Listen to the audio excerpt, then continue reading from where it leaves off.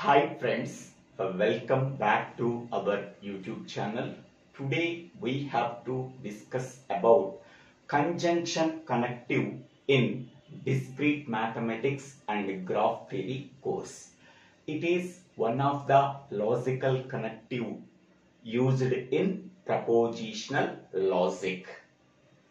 Now, how these conjunction connective can be used, I am explaining with one example. Let us consider P and Q are two propositions. The conjunction of these two propositions can be denoted as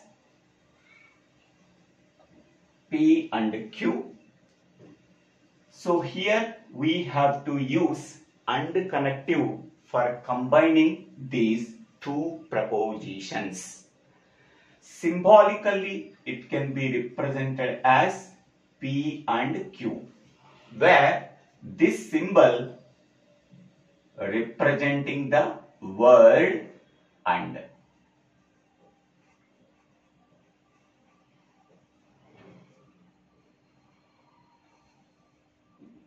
when we are combining these two propositions by using and connective then we are getting the compound proposition a compound proposition can be obtained by combining two propositions p and q by inserting the word and in between the two propositions then it can be called as conjunction of the given propositions.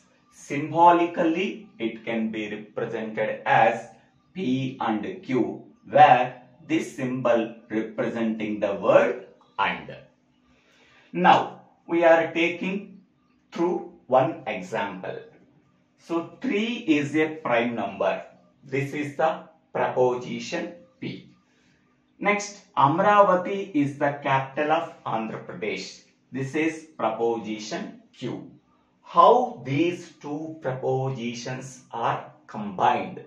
By using the word and in between the two propositions.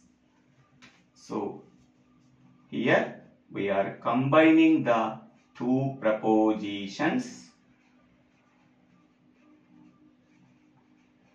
by using the and connective in between the two propositions.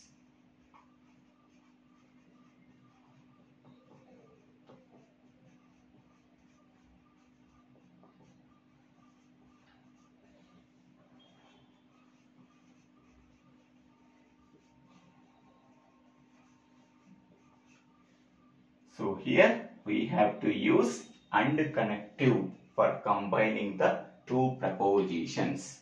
So, it can be represented as P and Q. Symbolically, it can be represented as P and Q. This is the symbolic representation of given two propositions by using the word and. Next, what is the truth table of conjunction connective. The truth table of conjunction connective can contain three columns. The first column contains the possible truth values of proposition P. Second column contains the possible truth values of proposition Q.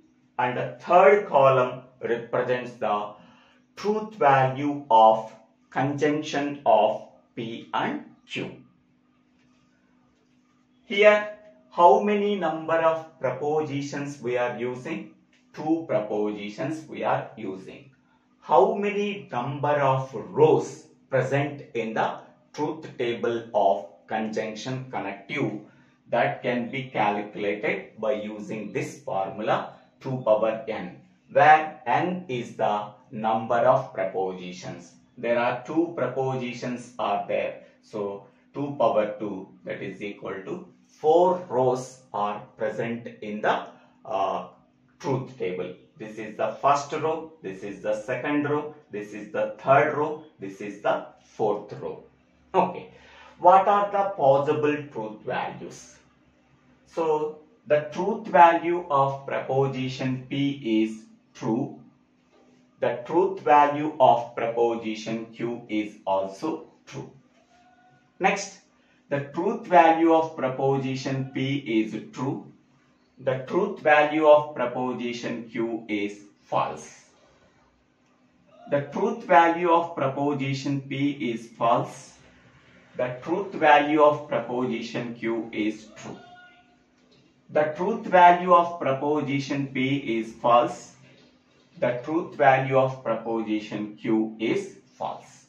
These are the possible truth values of P and Q propositions then, what is the truth value of P and Q? The truth value of P and Q is true only when P value is true and Q value is true. In remaining three cases, it is false. Okay. How this truth table can be uh, remembered? Okay. So the conjunction of two propositions P and Q can be represented as P and Q. P and Q is true only when proposition P is true and proposition Q is true. Then P and Q is true. The remaining all cases it is false. Okay. Now how to evaluate the truth value of P and Q for this example. Okay, now I am taking 3 is a prime number. So what is the truth value of this proposition? We already know that uh, 3 is a prime number so that it contains the truth value true. Next, Amaravati is the capital of Andhra Pradesh. We know that it is true. Therefore, this proposition contains the value true. Then, what is the truth value of P and Q? Okay. So here, the first proposition value is true. The second proposition value is also true. So true and true is nothing but true. So P and Q truth value is true. In remaining all cases, it is false. This is the simple description of conjunction connective. Whatever I am teaching, so that can be represented in the sentences from for notes purpose. I hope all of you understanding this uh, video. If you really understanding this video, please click on the like button and share this video to your friends and classmates. If you have any doubts, please put your doubts in the comment section. I will try to clarify your doubts. If you really understanding this video, please subscribe my YouTube channel so, Divvela Srinivasa Rao.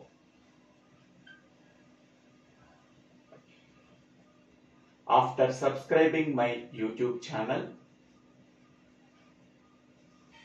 share this video to your friends and classmates. Thank you, thank you one and all for watching this video.